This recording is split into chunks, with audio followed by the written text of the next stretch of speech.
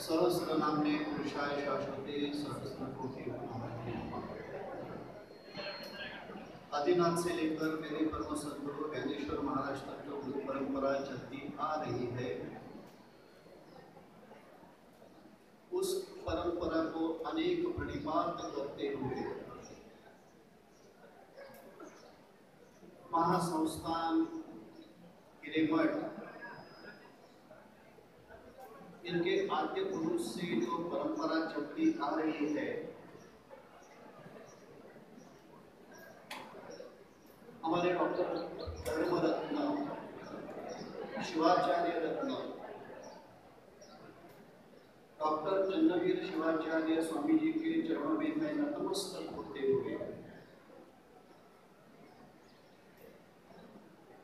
इस व्यासपीठ पर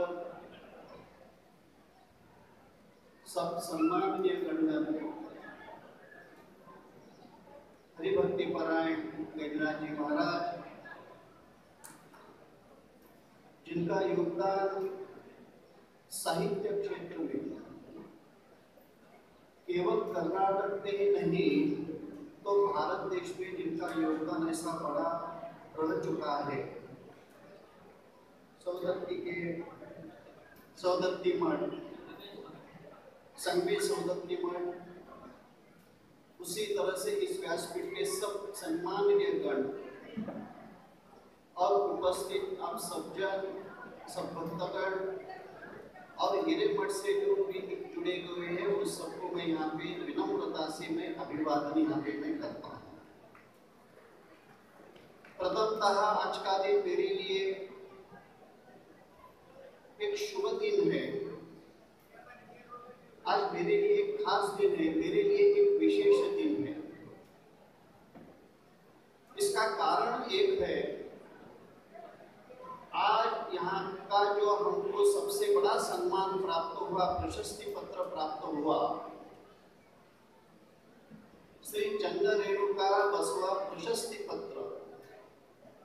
आज मेरे जीवन का एक अत्यंत महत्व का उतना ही एक आनंदित दिन है, ऐसा मैं ज़ाहिर भी करता आज तक जीवन में मुझे कई पुरस्कार मिल चुके मगर आज का ये जो पुरस्कार है, मेरे लिए खास पुरस्कार है। उसका एक कारण एक है, इस पुरस्कार में केवल एक नाम नहीं है तो इस पुरस्कार में तीन नाम जुड़े हुए हैं। चंदा, रेणुका और बसवा। ये तीन नाम जिससे जुड़े हैं, और इसलिए मेरे जीवन में एक अत्यंत ऐसा एक महत्व का एक दिन मैं मानता हूँ।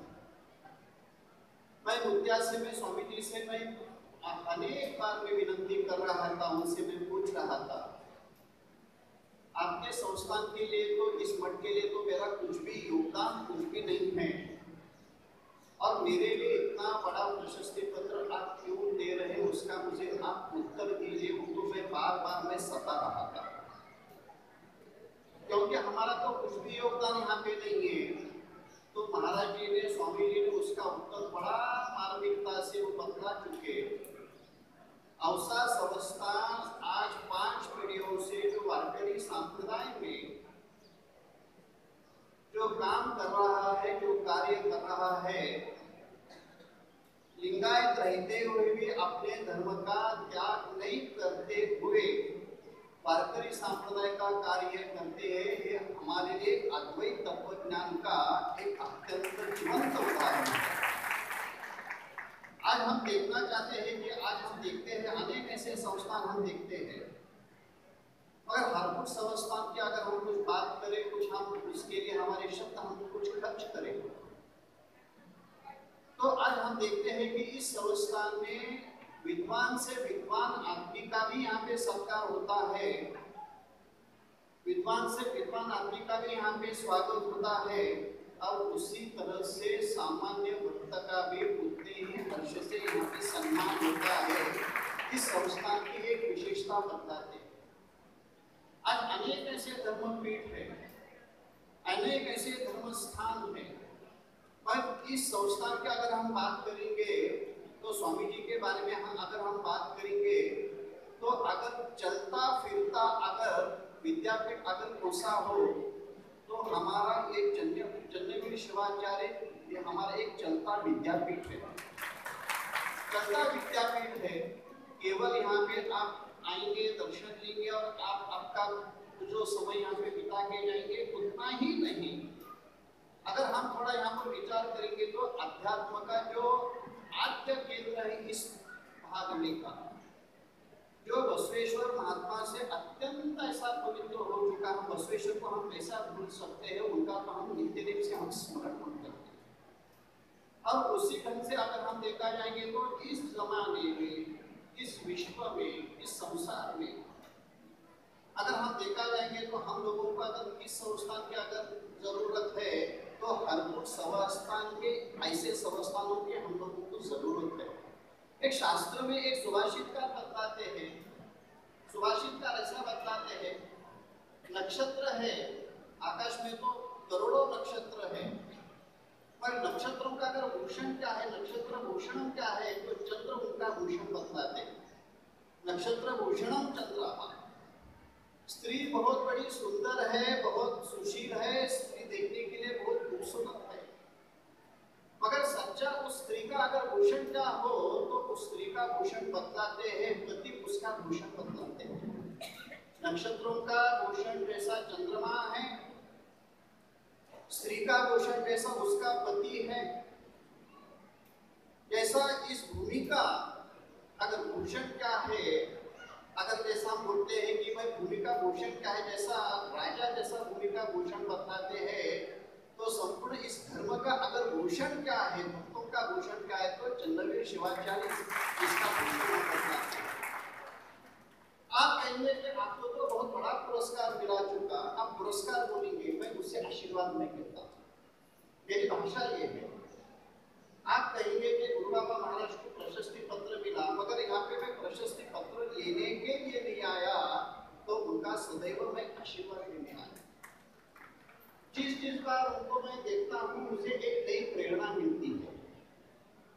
जिस बार उनको मैं देखता हूँ, उनका मैं दर्शन देता हूँ, उनका मैं स्मरण करता हूँ। उनके साथ मैं कुछ पल मैं बिताता हूँ। उस वक्त मेरे जीवन में एक नई ऊर्जा पैदा होती है, मुझे नई ऊर्जा मिलती है और नया अच्छा काम करने की प्रेरणा अगर कहाँ से मिलती हो तो इस स्वामी जी के माध्यम से मुझे एक मैं एक ही बात मैं कहना चाहता हूँ, मेरे सामने इतने सब लोग आप यहाँ पे जमा हो चुके बैठ चुके हैं। ये प्रशस्ति पत्र तो छोड़िए छोड़िए। मगर ये जो पुरस्कार है, ईश्वर ने इस जगत को, ईश्वर ने इस जगत को सबसे बड़ा पुरस्कार क्या क्या अगर प्रदान कर चुके हैं तो ऐसे शिवाचार्य रत्न की जगत में पैदा जो हो चुके ये जीवन में मेरे लिए सबसे बड़ा उसका पुरस्कार हम ये भी कहते हैं, इनके वैसा जो पुण्यात्मा, इनके वैसा जो इतना एक पुण्य तत्ववेत्ता आज जो भगवान ने इनकी जो निर्मित कर चुके हैं ये मेरे लिए केवल मेरे लिए नहीं कहता हूँ इस जगत के लिए वो बहुत बड़ा पुरस्कार है बहुत बड़ा पुरस्कार है और हम भाग्यशाली जीव है इनका जो सानिध्य उनका प्रेम उनका आशीर्वाद उनका स्नेह उनकी आस्था उनकी भावना ये हम सब पर ये हमेशा ये बरसती रहती है मैं ईश्वर से मैं प्रार्थना करता हूँ शुद्धि से मैं प्रार्थना करता हूँ इस व्यक्ति को मेरी उम्र लग जाए। इस व्यक्ति को मेरी उम्र लग जाए। आप पूछेंगे, आप शिवाचार्य जी को, स्वामी जी को, आप क्या देंगे क्या देंगे? तो मैं एक ही मैं ईश्वर से मैं प्रार्थना करता हूँ, मेरी उम्र तो कम कर दे। मेरी उम्र में तो कटाई कर दे। और मेरी जो भी बची हुई उम्र है, इनके चरणों में मैं अर्पण करने के लिए ये मैंने देखा इसके मुख्य सामने में बात नहीं करता। मेरे अंदर की भावना यहाँ पे बात कर। अंदर की भावना बात कर। इसलिए ये जीवन में, जीवन जीवन में व्यक्ति का जीवन कैसा हो, वो जल के वैसा पवित्र वो जल कैसा रहता है, इसलिए कहते हैं कि पानी बहते रहना और साधु फिरते रहना। पानी बहते रहना और साधु स्वामी जी के बारे में हम देखते हैं। आज इनका जीवन, आज समर्पण किसके लिए है? आपके लिए और हमारे लिए इनका जीवन समर्पण। जैसा हमारा जीवन, हमारे संस्कार, संसार के लिए, हमारे प्रपंच के लिए, हमारे बच्चों के लिए। अगर इनके सब बच्चे कौन हैं तो आप और हम इनके सब बच्चे हैं हमारे माँ बाप कौन है तो कहते हैं कि स्वामी जी अपने माँ बाप यहाँ पे आने के बाद सब लोगों को एक प्रकार का आशीर्वाद, एक प्रकार की संतुष्टता, एक प्रकार एक प्रकार की शांति, कहाँ से आकर मिलती हो तब महास्वामी जी के तरफ़ से मिलती है। आगे एक मैं शब्द मैं यहाँ पे, लफ्ज मैं यहाँ पे, उच्चारण मैं करना चाहता हूँ। महास्वामी जी का कार्य इस देश के लिए केवल कर्नाटक के लिए आप सीमित मत समझिए। इस देश के लिए अगर कैसा है तो शांति जैसा उनका एक कार्य हमारे लिए वो शांति दूत है। जगत के लिए शांति दूत है, जगत के लिए शांति दूत है। इसलिए हम यहाँ पे आज यहाँ पे आए, इतना बड़ा सम्मान औसा संस्थान का गुणानुबंध, इस हिरेमठ का जो ठाकुर संस्थान का जो गुणानुबंध, ये आज का नहीं है तो पीढ़ियों से ये चलते आ रहा है। ये मैं परमेश्वर के चरणों में, ईश्वर के चरणों में मैं प्रार्थना करना चाहता हूँ की भाई ऐसा ही स्नेह बना रखे, ये मैं कामना करता हूँ। वास्तविक आज आपण इथे इतका मोठा, सहा दिवस नवरात्रीतला हा सुरू इतका हा दिवस आहे। त्या अनुषंगाने आज इतका मोठा पुरस्कार स्वामीजींनी तुम्हाला प्रदान केला। वास्तविक हा पुरस्कार कोणाला जायला पाहिजे? जे साहित्यिक आहे जे कवी आहे जे शास्त्रीय गायन करतात जे वेद पठण करतात त्या सर्वांसाठी हा पुरस्कार जायला पाहिजे. पण त्यातनं एकही गुण माझ्यामध्ये कोणताही गुण नाहीये, असं मी इथे मी सांगू इच्छितो. पण नसताना सुद्धा त्यांनी इतक्या मोठ्या मनाने त्यांनी हे सर्व काही केलं, अजून एक गोष्ट मी इथे मी बोलू इच्छितो. जैसी एक माँ, जैसी एक माँ अपने बच्चों का रक्षण बच्चों बच्चों का पालन पोषण करती है, उसी तरह स्वामी जी हर क्षेत्र के लोगों का पोषण उस माँ के तरह करते हैं। माँ के तरह करते हैं, जैसा कोई संगीत वाला हो, कोई सा गायन करने वाला हो, कोई अभंग बोलने वाला हो, कोई नृत्य करने वाला हो, कोई अभ्यास करने वाला हो, किसी भी क्षेत्र का अगर कोई व्यक्ति हो, उसका संवाद कैसा करते हैं तो उसका संवाद माँ के प्रमाण में करते हैं। ये अनेक ऐसे खूबियाँ होंगे। आज उनके बारे में मैं जितना भी कहूँ जितने पे मी सांगून तो तितकं थोडं आहे. आज मी खूपच मी निवडून गेलेलो आहे. आज मला बोलायला तिथे चांगले शब्द मला बोलत नाहीये. पण हे सर्व एक भव्य आणि दिव्य कार्य हे कोणासाठी आहे? तर हरकुळ मुद्द्याने तुमच्याने आणि आमच्यासाठी केलेलं आहे.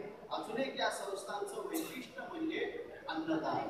नित्य अन्नदान नित्य अन्नदान आज आपण देव पाहतो देवळात जाऊन पाहतो पण यांनी देव पाहिला माणसात देव पाहिला देव जो पाहिला देता का अनंतले गांधले त्यासी म्हणे जो का आपले तोची साधू ओळखावा आणि देव तेथे चित्तावा आज असं जे संत महात्मे ते सांगून जातात प्रत्येक व्यक्तीमध्ये आज यांनी देव पाहिलेला आहे. त्याला माझ्या आयुष्यामध्ये राग काय क्रोध काय आहे मी कधी पाहिलं नाही लक्षात. इस महान व्यक्ती को क्रोध क्या होता मी कधी कभी आज तक मैं उनको नहीं देखा। क्रोध क्या होता है? ये लोग क्रोध को खाकर बैठते हैं। हम जैसा अन्न खाकर बैठते हैं, ये जैसा क्रोध को ऐसा खाकर बैठे हैं, इसीलिए मैं हमारे गुरु परंपरा के चरणों में पुनश्च है। मैं प्रार्थना करता हूँ, मैं अत्यंत अत्यंत मैं रूढ़ी हूँ। आपके गुरु से मैं कभी मुक्त नहीं होना चाहता। आपके गुरु से रहना चाहता हूँ। ना वंदे मातृ ನೀವು ಹುಡುದಾಗೆ ನಾ ಇಲ್ಲಿ ನಾ ಇರ್ತೀನಿ ಅದರದ್ದಾಗಿ ನಮ್ಗೆ ಮುಕ್ತ ಆಗೋದಿಲ್ಲ ನೀವು ಹುಡುದಾಗೆ ನಮ್ಗೆ ಇಟ್ಕೋರಿ ಸದೈವ ನಿಮ್ಮ ಆಶೀರ್ವಾದ ಹಂಗ ಹೀಗೆ ಹಂಗಾಗಿ ಸ್ನಾನ ಮಾಡಿ ಮಂದಿಗೆ ಅಕ್ಷರ ಪೂರ್ಣ ಮಾಡ್ತೀನಿ पूर्णमिदम पूर्णात पूर्णमुदच्यते पूर्णस्य पूर्णमादाय पूर्णमेवावशिष्यते जितने भी मेरे में आपको अच्छे चीज दिखते हैं मेरे सदगुरु ज्ञानेश्वर महाराज के हैं और मेरे भी जितने, आपको पूरे दिखते हैं पूरे, वो सब गुरु बाबा के हैं। ऐसा मैं प्रामाणिकता से मैं कबूल करके मेरे शब्दों में आते मैं पूर्ण करता हूँ